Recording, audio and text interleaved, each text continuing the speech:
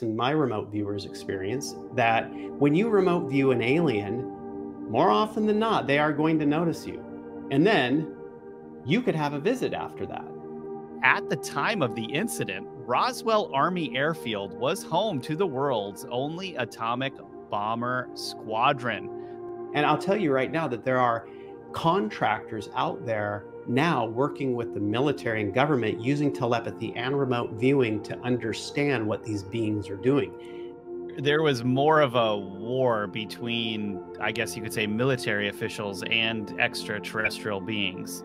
There's the still a war, but I think the war was a lot hotter Right. back maybe 60s, 70s, 80s ish. Well, back up a minute. So you went to hang out around a nuclear power plant, like a decommissioned. So obviously, Yeah, decommissioned one. When we've looked at some cattle mutilations, what we've seen is that we've got two different things happening. We either have extraterrestrial activity or human activity looked looking to be like it's extraterrestrial.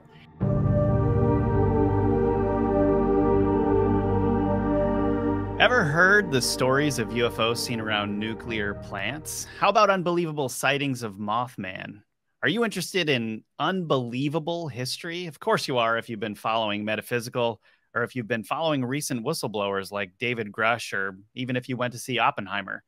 But today, we're going to go so much deeper into stories of a being actually morphing into a UFO, remote viewing data on what these craft are doing when they're spotted over nuclear plants, and so much more. If nuclear technology can split apart an atom and set off an uncontrollable chain reaction, it's really not so far fetched to think about these stories of bizarre creatures or alien contact. Am I right? So join remote viewer John Vivanco and me, investigative researcher Rob Counts, for a show that's out of this world. Are you listening to the Metaphysical Podcast on Spotify, Apple, or elsewhere? Go ahead and leave us a five star rating and review. Really helps us. Remember to like, follow, subscribe on YouTube, Rumble, Ganjing World. I've never been there. I need to go check that out. Uh, Twitter, Facebook, and anywhere else so you don't miss out on this amazing content. Okay, yeah, I'm excited about today's um, episode. You know, if if nuclear power plants weren't strange enough, the fact that a bunch of unidentified flying object activity um, just makes it even weirder. Are these military? Are they spy craft? Or are these extraterrestrial creatures that are concerned with how humans are potentially going to blow up a planet that they're that they're frequenting? What do you think? Man, that's a can of worms right there. I mean, what do I think is based off remote viewing data and my own experiences at well, defunct nuclear power plants? Just because I went uh, and hung out around one for a bit of time in California. And so you get like a lot of strange activity happening around these places. Well, back up a minute. So you went to hang out around a nuclear power plant, like a decommissioned. So obviously, Yeah, decommissioned one. there was no meltdown. There was no radioactivity. John doesn't have psychic abilities from being bitten by a radioactive spider. This is like a thing. Yeah. Yeah, it's like um, Strange experiences. whether there was ever a meltdown at one of these locations or not, there's still going to be various levels of radioactivity in the surrounding environment. It's just going to happen because there's a lot that's unknown about the particles that are put out by this. Yeah. Uh, so much so that communities around it will have instances of cancer and whatnot, um, regardless. So, you know, also think about uh, cattle mutilations. When we've looked at some cattle mutilations, what we've seen is that we've got two different things happening.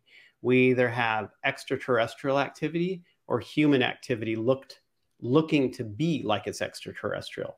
And the intention in both cases is to understand what sort of, of toxins are in specific organs of those animals. And so they remove the parts of the animals, the eyes, whatever, the sex organs, stuff like that, to try to understand, you know, what sort of radiation these beings are carrying around with them.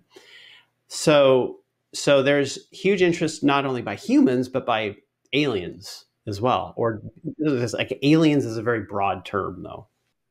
From your data, your do you think that these cattle mutilations are more likely to be extraterrestrial in origin than they are occult activity, or is there a, is there both happening? There could be occult activity, but I don't think occult activity could remove parts of the animal with laser precision and no blood and no footprints. yeah. Um, okay. So so the animal mutilations, um, when you get to the high high strangeness ones, where there are it's just totally anomalous, you'll often find radiation readings. You'll you'll see that there's no footprints around. You'll you'll see that it's like they've been organs have been laser cut out, no blood, et cetera, et cetera. Started off originally most likely with alien type craft doing this, and then humans got into the mix too in order to check, basically, but mimicking what the aliens do in order to keep the whole thing a mystery. Oh, so there are some like there are some human activity revolved around this to throw potential investigators off of the scent of what's going on to make well, it yeah, seem okay, like so more about, like human. Yeah, think about MILAB uh, military abduction stuff. Okay, so mm-hmm. so what we, we've got like these aliens who made a deal with uh, a previous administration in the United States in order to receive technology they would give the aliens access to the human like american population i mean they would say yes you can do it they could do whatever they want but they wanted the door open. It's like letting the black eyed children into your home. I just need a glass of water. No, you shouldn't have let that black eyed child into your house. And so, so, so it's, it's kind of the same scenario, but, but, but what, and so one of the deal, one of the aspects of the deal was you have to tell us everyone that you're taking. Like we want to know every person that you're taking. So then after they do that, the, the aliens do this, they take them, they check their genetics. The military comes in to pretend like they're aliens using probably costumes, MK Ultra techniques, et cetera, et cetera, to find out why the alien is so interested in that particular individual. So that's where the MILAB stuff comes from, right? The military abductions that sometimes the facade drops on it and people see, right? Oh, this is military. What is going on here? Same thing with the mutilation stuff. I mean, how are they extracting those organs without any footsteps or anything like there would have to be some labor involved is there some type of levitating mechanism that comes yeah. in and, and takes stuff right it's the whole it's the whole beam me up scotty thing you know tons of ufo reports where there's a craft above and there's sort of a tractor beam hmm. pulling hmm. something up into it or people have had that experience as well um, so you know that would leave no footprints we need that beaming technology you know, we probably after, have it. After hoverboards, beaming technology seems to be like the next thing that you should have. You know. Yeah. Right. Yeah, for sure. Yeah. Flying cars, the Jetsons. Yeah. Never yeah. happened. Disappointing. It is. It's it's a little disappointing, but you know, it is what it is. But UF, UFO activity around nuke sites. This this is so we're kind of starting to ease into that conversation here with some of these weird things that are going on. We're that easing into it. yeah, yeah, yeah. There's been a whole lot of uh, of alleged UFO activity around nuclear sites. Kind of started like if we're talking about the history here of the whole thing, like you know, Foo Fighters were seen during World War II right? Strange orange flying lights along the French German border. Here's an article that we've we've pulled up. The Pentagon is investigating UFOs that possibly turned off warheads. And and this has been reported multiple times by multiple different whistleblowers. This is not new information that that I'm bringing up, but it is fascinating, right? So we're we're the Foo Fighters really the question is were the Foo Fighters that were sighted by World War II uh, pilots, were those Foo Fighters the Nazis' technology, which is actually highly doubtful just based on how far their technology got? Or were they more likely to be extraterrestrials that had seen humans develop nuclear technology and they were worried about humans blowing up the entire world? The Nazis were working on on nuclear technology. The Americans were working on it because they found out the Nazis were working on it, and then you know the USSR was spying on the on the Nazis. I'm sorry, on the um the USSR were spying on the Americans who were who were developing all of that. And then, uh, of course, the band, the Foo Fighters, named themselves after the, what was those craft that were seen in World War II. They have oddly stiff arms in that photograph. That was actually like what I got stuck on when I saw that photograph. Maybe, maybe the Foo Fighter band is aliens.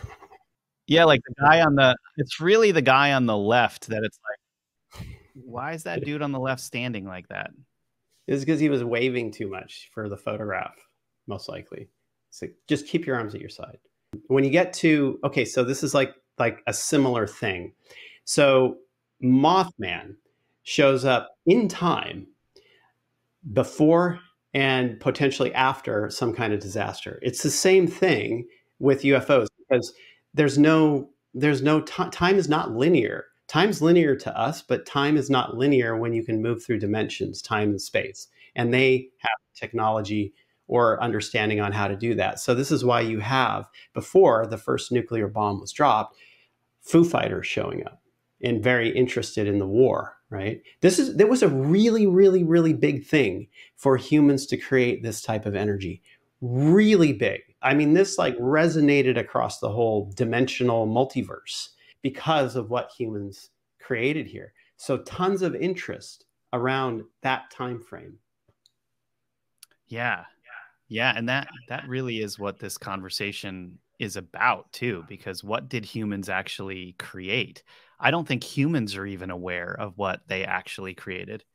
The ramifications of nuclear technology in the quantum verse, whatever you want to call it, um, even at a smaller scale, like what at a microscopic scale, what's really going on, humans have no idea how is a small particle like that creating that amount of energy?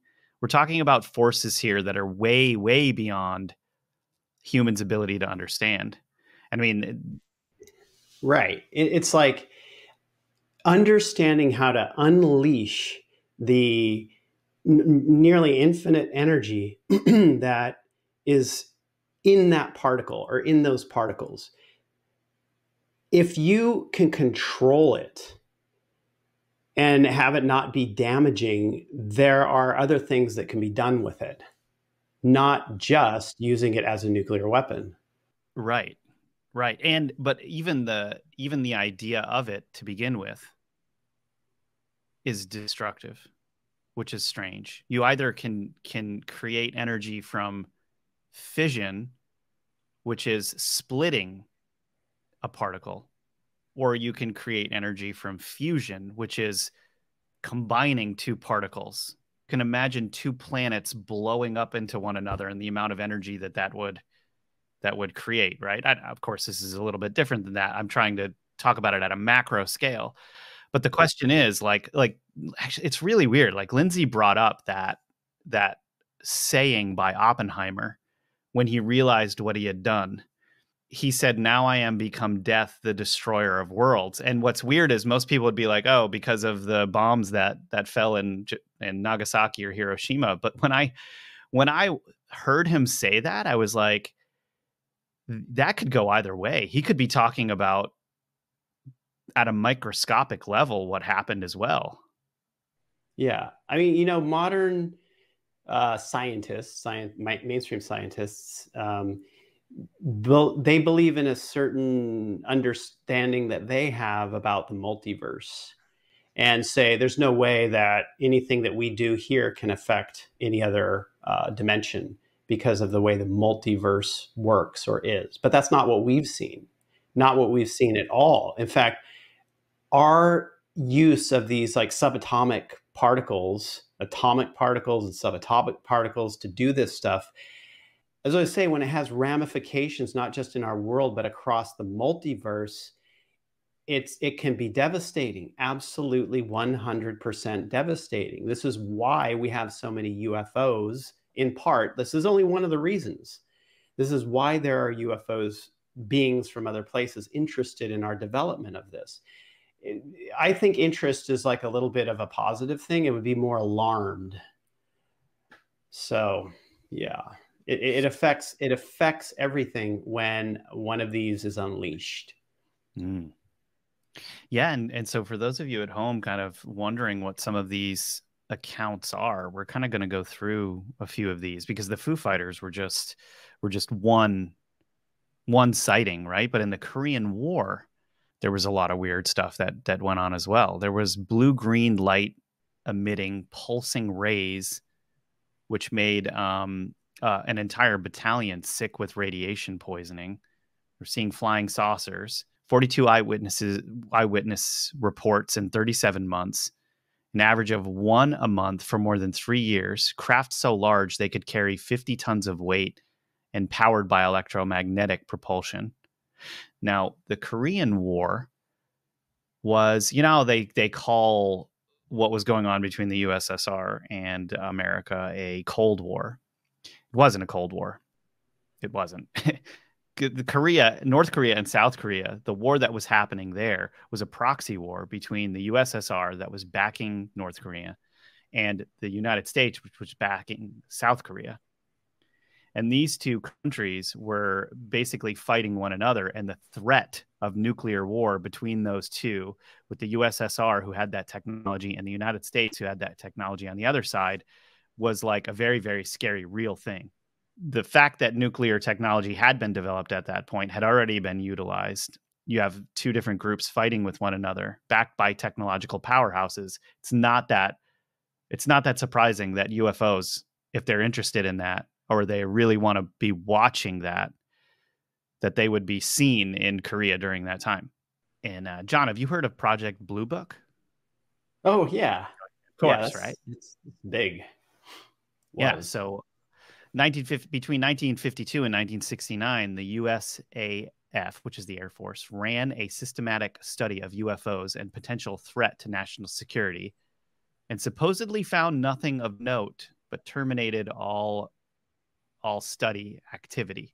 You know, that's that's a funny statement that uh, they they put out there. Nothing of note, but outside of that, the scientists that were involved in in uh Blue Book were very interested in in the anomalous side of the UFO phenomena after they exited Project Blue Book. yeah. When they were skeptical before. And and you know, as far as UFO type sightings go, most stuff probably is explainable. And the it's easy it's easy for the media and the government to focus on the explainable ones and then paint with a broad brush. But these scientists saw, no, you can't paint with a broad brush because the anomalous ones we can't explain. Right. right. That's I'm telling you, they use sometimes they use these like this data as a bat, you know, to beat off spec like healthy speculation that people should be having around these things. This account we're about to go through is really interesting. It's from a guy named Robert Jacobs, who was a former officer um, and doctor and now he told the AARO, which is the government's all domain anomaly resolution office, that he made a film for the Air Force in 1964 that captured images of UFO shooting a test missile out of the sky. He saw a UFO firing four beams of light at a nuclear missile undergoing testing. It was a saucer shaped craft. It circled the dummy warhead during a test flight in California in 1964. It's a quote here. I was quote, I was part of a US Air Force cover-up. It was shaped like a flying saucer and was firing a beam of light at our warhead. Now he was dispatched to California to photograph with high-speed instrumentation a special missile rocket launch, but the next day he was called into the office of a major where three people in gray suits were waiting for him. They played the footage that had been shot, and suddenly, from in the frame, they saw an object following the text, test missile traveling at 8,000 miles per hour. Dude, 8,000 miles per hour. It fired four beams at the warhead, then flew out of the frame. The warhead tumbled out of space. Now, these these guys in suits, which you know you can you can easily assume were CIA, right? So these guys wanted to know if they had played a prank while filming. So if uh, he wanted, they wanted to know if this guy what he had taped was a prank. And when they determined it was definitely a UFO, they warned him about security breaches, of course, which is what they would do. One of them privately told him, "Lieutenant, if you were ever tortured, if you were ever tortured in the future, somebody has you up against the wall, and they're firing your privates, or excuse me, and they're frying your privates with fire, your private parts with fire. You can tell them this: it was laser tracking, but we never had laser tracking in 1964." Right. What we are here today to tell you is that this is a real event that is the most important event in the history of mankind. We are not alone. Yeah, this stuff happens more more than more than we know. Um, and this like this goes back to a previous episode where we were talking about what did Grusch mean by our adversaries, right? when you go into that question with remote viewing and and and realize that the adversaries are the ones that they originally made the deals with the earlier administration and they came out of it on the lesser side they started to see what they could do to fight them right and so of course you're beginning a war there and you're going to have UFOs show up at missile sites. You're going to have them show up at missile tests. You're going to have them show up in in in, pro- in locations that we don't even know about where stuff is going on and probably everywhere else. I mean, okay, here's an interesting thing. Ingo Swann, who was the godfather of remote viewing, had an experience where he was pulled into a secret black project of a, with a guy named, he called him Axelrod, who was leading the project. And he wanted him to remote view um, stuff on the moon. Mm-hmm. Now, Ingo's remote viewing stuff on the moon, Ingo didn't believe in aliens or anything like that. He didn't know anything about that wouldn't even think that there's anything on the moon, uh, as we're all led to believe. And he started to come across structures during the session. And then he came across a being there, an alien. And immediately, Axelrod, who was monitoring Ingo during the session, said to him, Did the alien notice you? Get out now. Get out now. Get out now. And he he he really made it clear to Ingo that if you if you go there, you can't get noticed. Okay, so this is in his book penetration. Now, when we look with remote viewing, what does Axelrod understand or what did he experience with regard to aliens noticing a psychic? So obviously, Axelrod had done this before with psychics, right? He had to have. Otherwise, how could he know not to be noticed? From my experience and my remote viewers' experience, that when you remote view an alien, more often than not, they are going to notice you. And then you could have a visit after that because I and others have been visited after remote viewing aliens. Right? Is it they like a bullying event? Do they bully you? Like they or they're just curious about you? They're not curious about you. They they bully you. Yeah. They they want you bully you. They want you to yeah. stay away, basically. They want you to stay away. Okay, so what happened to Axelrod? How come he was so adamant about it? What experience or what did he know? So when we looked at that particular thing, Axelrod had he's part of that war to gain intelligence. And how are you going to gain intelligence on these things except for using psychics and remote viewers, right? As part of the whole construct of it. And I'll tell you right now that there are contractors out there now working with the military and government using telepathy and remote viewing to understand what these beings are doing. That is part of every single program that deals with these beings. And I know this because of the people that I know, that I've known in the past. What happened to Axelrod was that they were using psychics in the past before Ingo to understand what's going on on the moon and to understand that whole alien construct that they ran up against, that they went into a war with. What happened when he did that is that they got noticed, and a remote military base where they were working got decimated. Like, we're not talking about like deactivating a nuclear site or a missile, but they collapsed buildings. Mm. So there was a period of time where this war was probably a heck of a lot more intense because nowadays when we remote view them as civilians it's not that you know, we don't get destroyed. Our house doesn't get attacked. Instead, we get warning after warning after warning, right? So it's a crazy thing.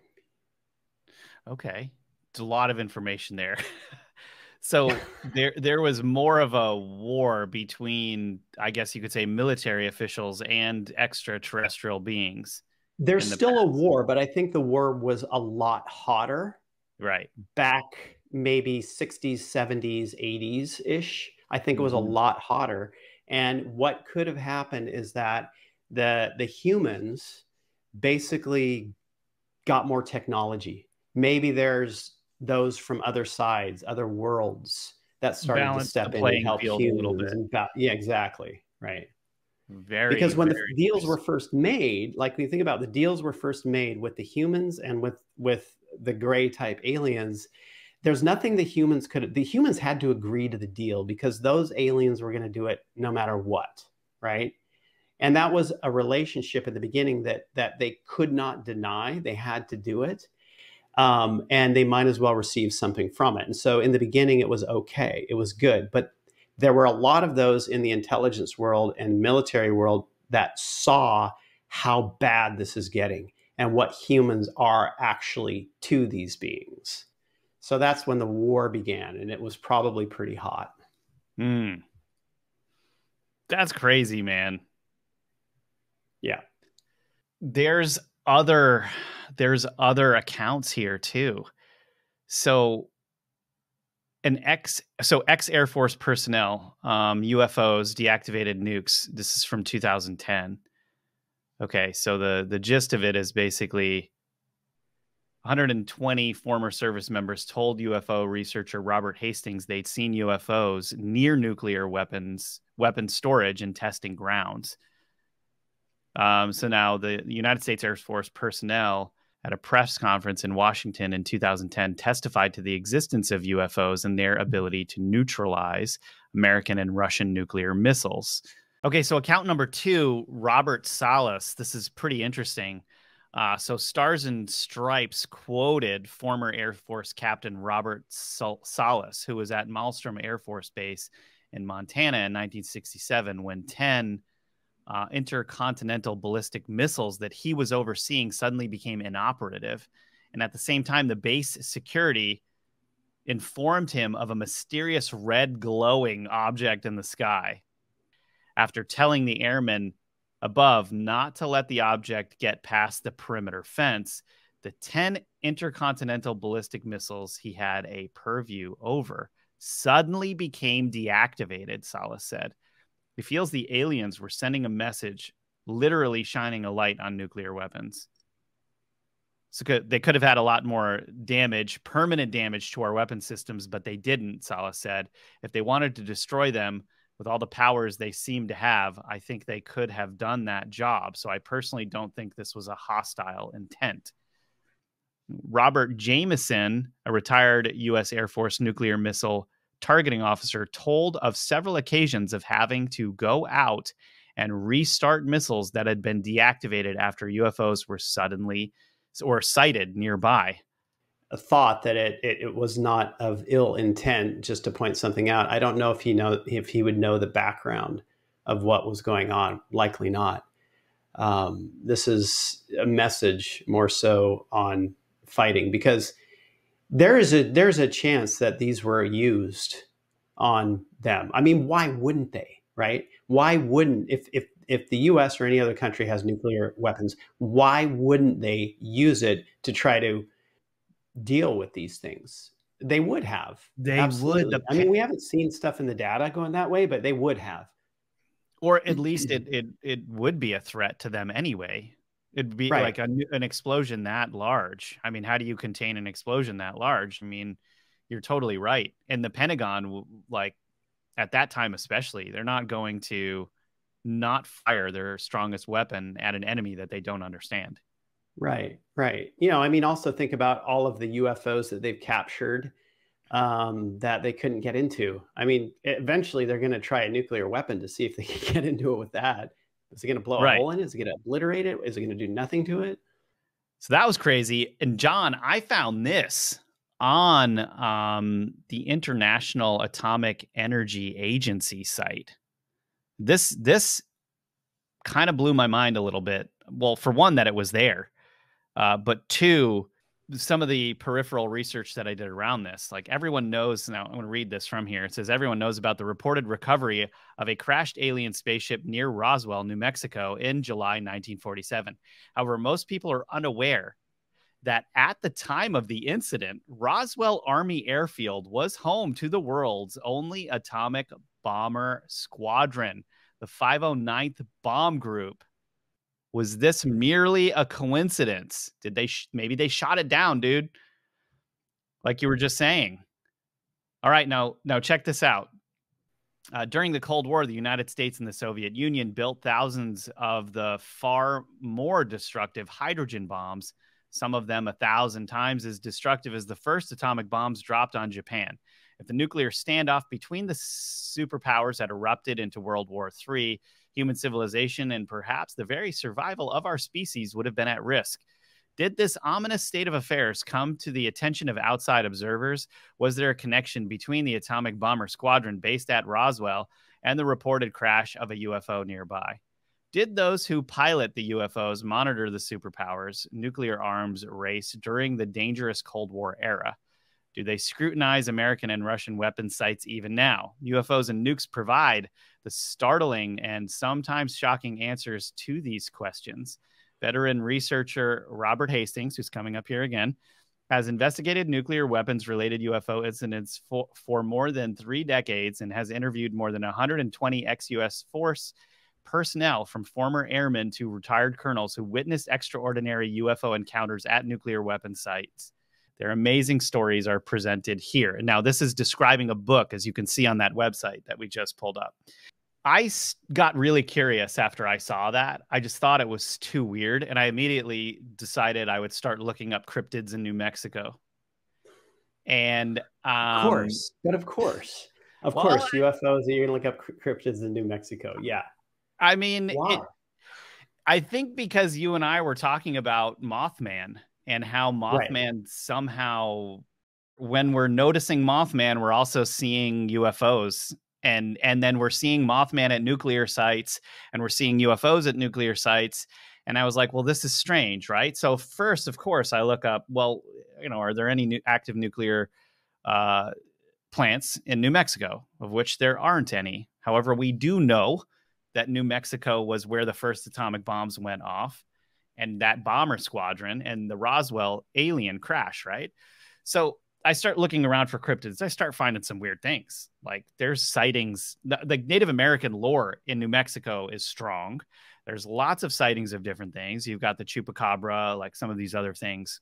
Dude, they're like centaur sightings in New Mexico. Like people don't even like talking about it because they don't want to be called crazy. But there are there are like locals in some of these areas that talk about it. Now, what really stood out to me more than anything, I think, was in a place called Los Lunas, which is mm, kind of closer to the Colorado border. I found something really strange.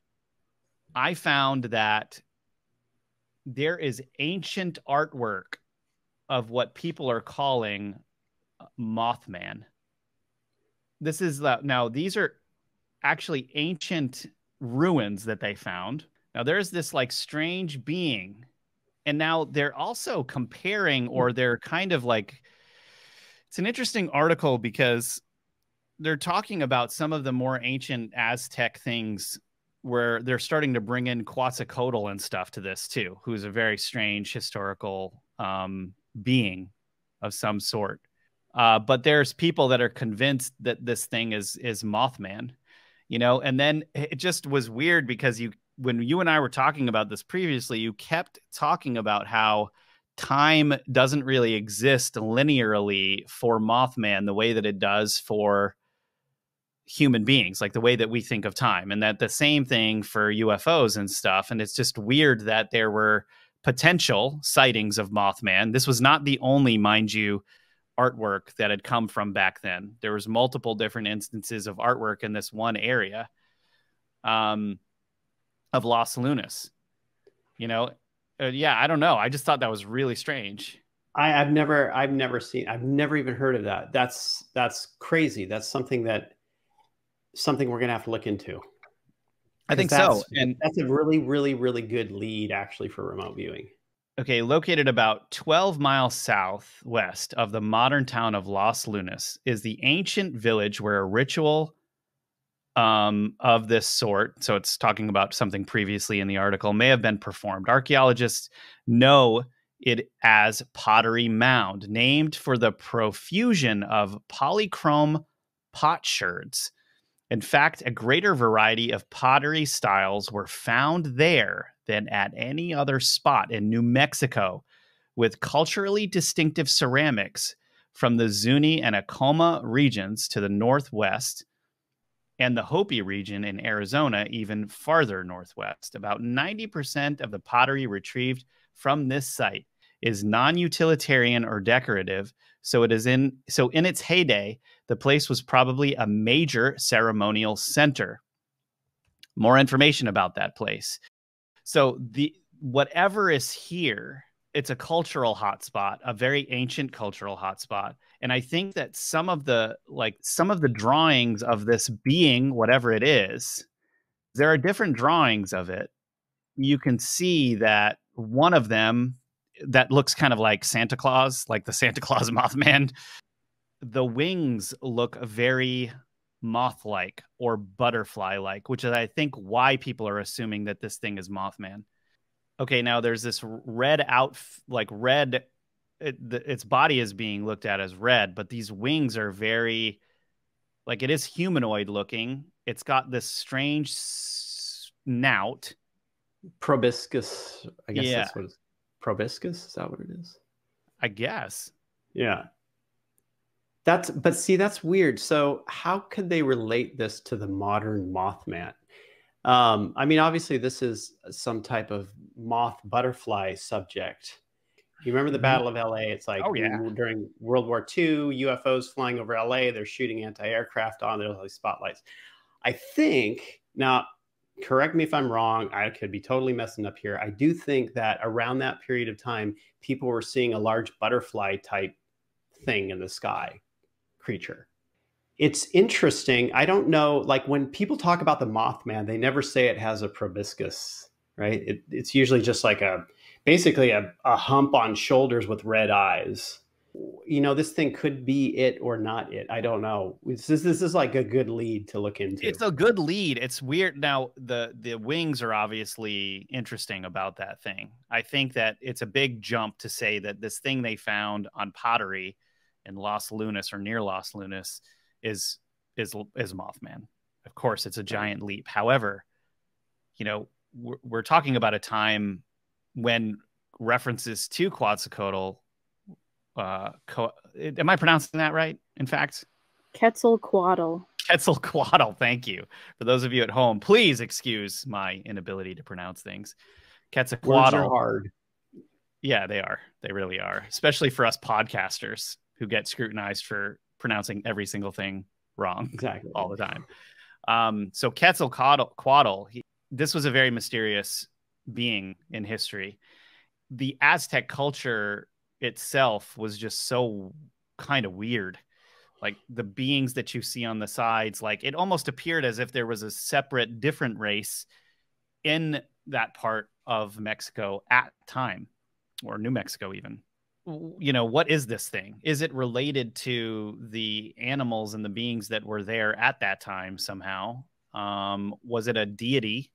Yeah it's it's hard to say but it is it is a strange lead for us to follow up on what this thing was that they were painting. And maybe what we can do is we just have an episode centered around the Aztec culture and maybe even what was really going on and just do a deep dive on the whole thing and then reveal anything we found about this thing because it's strange. Yeah. Yeah, I think that's a good idea. Yeah. Okay. Well, um, so John, anything um outstanding with these this subject that you'd like to to kind of tell us? Uh, anything extra that you've that you've found in in your um, remote viewing on yeah um, when you you the like the nuclear sites Yes. and you know yeah so in general whether it's a commissioned or decommissioned nuclear site there are more sightings than in other areas of UFOs and whatnot, right? So you, pointing that thing out, and the, the reason why, according to remote viewing data, is is multiple.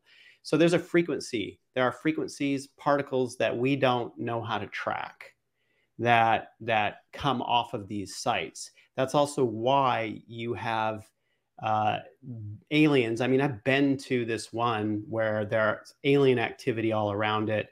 Uh, the ground Nuclear shifting site. around. Yeah, yeah, Okay, so you uh, went to a nuclear site. yeah. In the areas around it, surrounding it, and they're they're pulling stuff out of the ground. They're monitoring. They're putting instrumentation in certain areas. They are using it.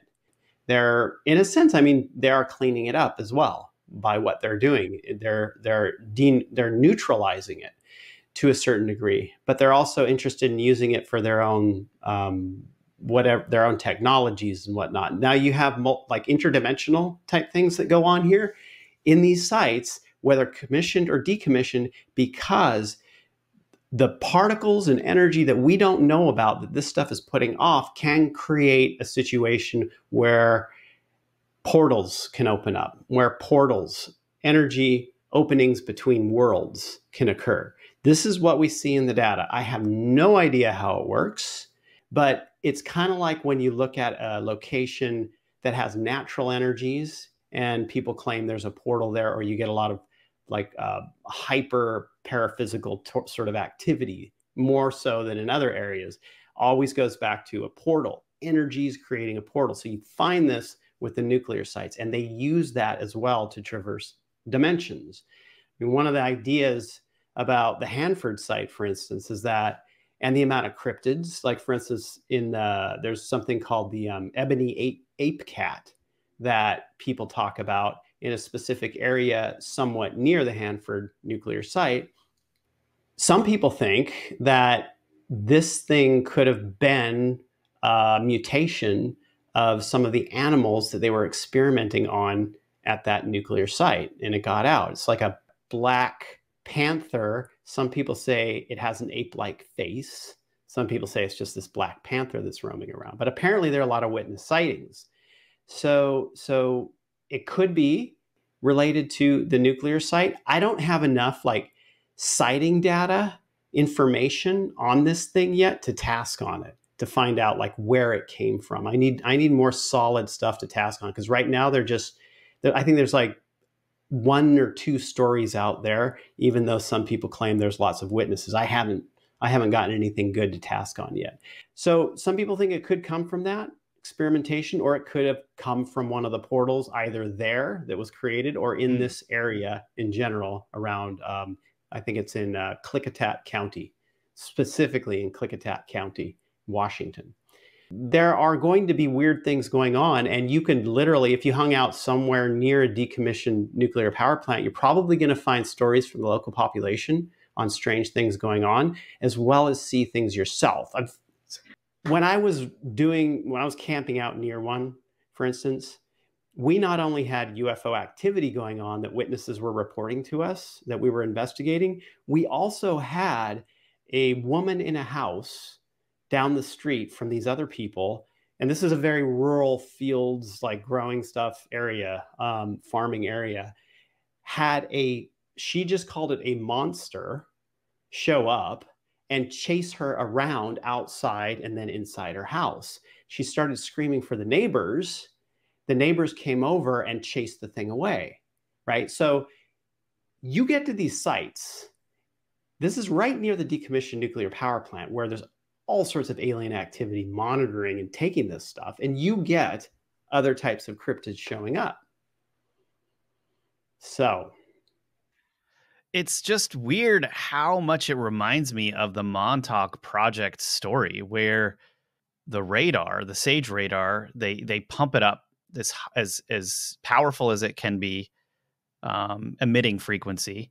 They they leave it on for an extended period of time, and the energy ends up according to Preston Nichols, opening up a portal in time space and connecting another dimension, I guess, to ours, and beings start to come through?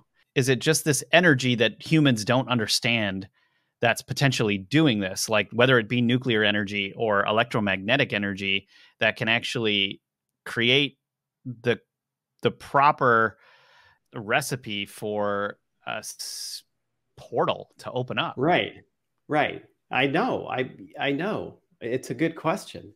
Yeah. Um and so just to put it out there, I don't recommend that people go camp out around these decommissioned sites. There's there's toxicity in the area still in the ground and whatnot. So I just don't recommend it. If anything, you know, put up cameras if you can in a, in a way that's not not invading people's privacy. For sure. For sure. Yeah, don't don't put yourselves in danger out there. Um John's a trained professional that doesn't care if he grows another head. So it's a completely different exactly. thing. Just kidding. but yeah, so was this thing um was this thing that chased the woman through the house this ape cat thing or was it another entity? No, entirely? no, it was something it was bipedal and large, tall. Yeah. Yeah.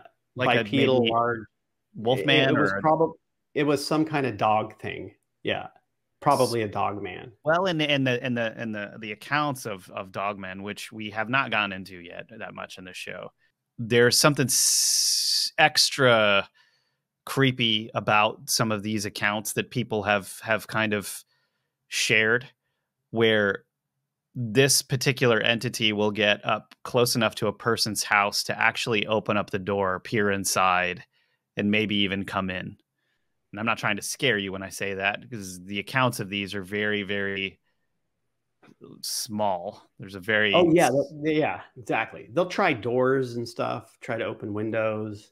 Yeah, this is the sort of like crack addict version of a dog man from Harry Potter. This like scary thing that no one would ever be afraid of. So most of the people, when they describe dog man that have had an encounter, will say it looked like the Van Helsing Wolfman Dogman thing. They will say it looked exactly like that. That's like the Arnold Schwarzenegger jacked on right. steroids version of of of a werewolf, basically.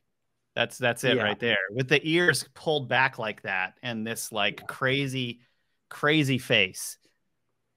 It's like if if Dogman were the lead singer of a of a heavy metal band anyway, this has been a really very interesting episode. I hope everyone uh, listening right now uh, that you liked this episode. And if you have comments for us, we'd really love to hear. So please comment below. Uh, we're always looking for you know stories and things that you guys would like us to look into. So definitely, um, definitely comment below and let us know what you think. Uh, John, did you have anything else to add for this episode?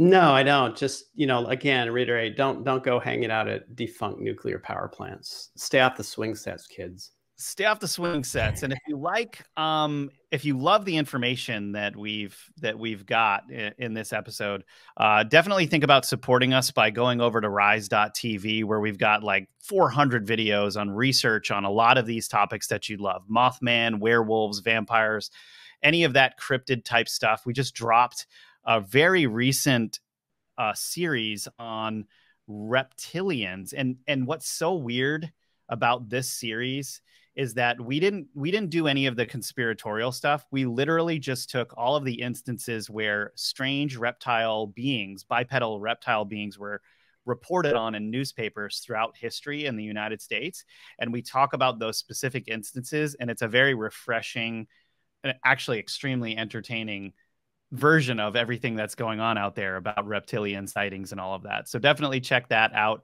if you haven't on rise.tv. It's only 9.99 a month over there and you just you get so much more. So instead of like Patreon, we developed this site so that we'd give you guys more. Um, There's tons there. Tons, yeah. tons, tons. Something for yeah. everyone. Yeah, and John has a really cool series there called Chronicles of a Psychic Spy, where he kind of just he solves it incredible mysteries that have that have evaded us for a really long time. Um, and actually, yeah, this this episode here, uh, we we just released for Metaphysical on Rise.tv. Uh, one of the cool things about you having a subscription to Rise.tv is that you'll get our metaphysical episodes two weeks before anyone else. As a courtesy for those who are subscribing and uh, supporting us, you get those episodes early. Uh, so if you can't wait to see the next episode, you can go there and get a couple of new episodes right away. Well, John, thanks so much for being with us. And for everyone at home, we thought you, we hope you thought this episode was as out of this world as we did.